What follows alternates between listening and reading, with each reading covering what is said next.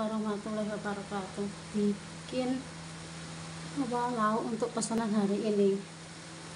Apa ini